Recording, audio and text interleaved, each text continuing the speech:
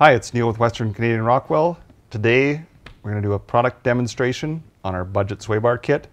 This kit we put together as a lower cost alternative to our normal sway bar kit. Uh, basically what it does is we've designed it so that you can source a lot of the parts yourself and uh, save you some money in the end. So what we're going to do is we're going to go over what comes in the kit, uh, what you need to source yourself, and then what it looks like installed. Today in the shop we have this mega truck here. It's a customer's. It's named Dirty Intentions. As a you know, mild-mannered young man like myself, I'm not sure what that means. Ali behind the camera probably has some ideas, but I'm not sure. Anyway, what we're going to do is now we're going to get into the kit, what it's all consists of, and then we'll move into the back of the truck to show you it installed. Okay, we're going to go over the kit. We're going to go right to left. Your right, not mine. So we're going to start with is the basic stuff that comes in the kit. Right here we have a one inch piece of pipe. We have four plasma cut arms, four plasma cut tabs, two tabs to hold the two inch tubing, two split collars, and two Durlin bushings. This stuff comes in every single kit that we sell. And then these additional parts we leave up to you to source. Uh, the torsion bar is a front suspension torsion bar from basically any half-ton GMC with an independent front suspension. So they're easy to find at any scrapyard. A chunk of 2-inch 120 wall DOM tubing. Your bolt kits, they're just 1-inch bolts, 1-inch nuts, and two 3-point uh, hitch tractor links. And you can find them at just about any hardware store. On our website, we list out exactly what you'll need for these parts. So if you buy the basic kit, you can find all this stuff at your local hardware store and and or junkyard. So now we'll go into the kit installed. Okay, here's the sway bar installed. Uh, what we're going to start with is the tube that the torsion bar slides through.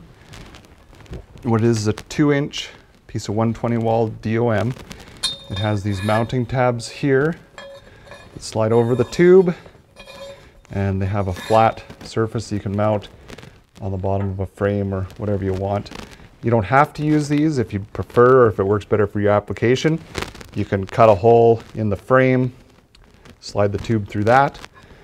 Um, then what we'll do is usually weld the tabs on, cut the bar off or the tube off to whatever length you need, and then weld everything together and you're good to go. One of the benefits to using a tube instead of just like a pillow block bearing or something like that is if this bar ever breaks, which they can, you don't have two loose ends flailing around.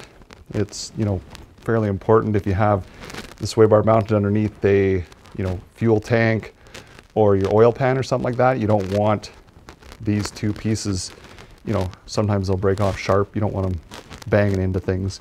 If it snaps off, everything stays inside the tube and it can't hurt nothing. Okay, these are the bushings that come in the kit. They're made out of a really hard uh, plastic called Durlin. We machine these to fit the bar and to fit inside the tube. The nice part about these things is that they're very durable. They don't require any sort of lubrication like grease. Um, they don't care if they get full of dirt or mud and water. You can fill these things up and it will still last a really long time with this bar inside. And then here is the split collar. So the idea here is that you can space the bar far enough out to get a weld on it. And then once it's welded, you can install the split collar to keep the bar from sliding back and forth. The other thing, one thing to keep in mind is that when we weld these arms out, we'll slide the bar out quite a ways, weld them, let it cool, slide it in to the desired length, and then as we're welding the second bar, it is, it will be close to the bushing. Usually we'll space it out about an inch. Is just to wrap this or this bushing with a wet rag. It just helps prevent it from getting any heat built up in it. These will take a fair bit of heat, but to a point. So if you get them, if you get the bar smoking red hot or something like that, it will damage these. So just wipe it, or just have a wet rag covering that, and it'll make sure it doesn't get damaged when you're welding. Okay, the next part is the arms that come in the kit. These are designed so the GM torsion bar slides through them, as you can see here. it welds on, and then the other part, the bolt goes through for your adjustable link. The one inch tubing that's supplied in the kit, it welds into these holes here, just to provide a little bit of strength for the arms. Uh, it doesn't matter which direction you mount the arms, we put a little bend in them just to help make them a little more universal. This one, it worked best with the arm pointed down, but if you need to, you can flip it over if you got a really tall truck or something like that. It doesn't really matter. The only thing you want to try and do is at ride height, make sure this hole and this hole are level. So if you drew a line between them, they'd be level at ride height, and that'll give you the best angle at full compression and at full droop. Okay, and basically the last parts of the kit are this adjustable tractor link. The reason we went with these is because they already have a spherical rod end built in on both sides. They're adjustable, so you can screw them out and lengthen or shorten them if you need to. So basically this just fits in between your arm, put a bolt through there, two tabs weld onto the axle down on the bottom, and the other end goes through there. And the reason we went with these is because they have a lot of adjustment. And the nice part about that is with pretty much any sway bar, if you take a hard hit or you stretch it or it even wears over time, they will tend to uh, bend. So the nice part about these adjustable links is if you hit a big hole and put a little bit of a kink in it, meaning one arm's kind of pointed up and one arm's pointed down a little bit, you can adjust that out with these adjustable links, keeping your truck straight. That way, you know, if uh, you do hit a big hole, you don't have to cut the arms off and replace the bar. You can, you can get quite a bit of life out of these without having to replace components. Okay. And these bars aren't the most user-friendly to reuse if the torsion bar does get uh, kinked or bent or breaks. Uh, we do have kits that the arms are removable quite easily. They're a little bit more money.